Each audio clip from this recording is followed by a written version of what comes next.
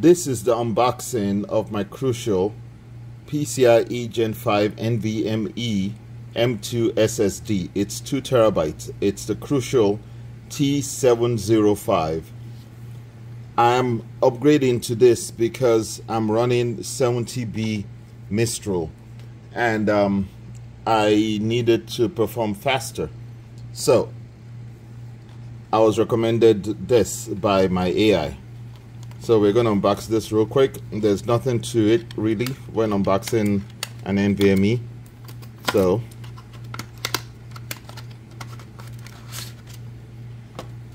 like I said, not much. The manual and the drive itself. There is something beautiful about it though. Yep. That's all there is to it.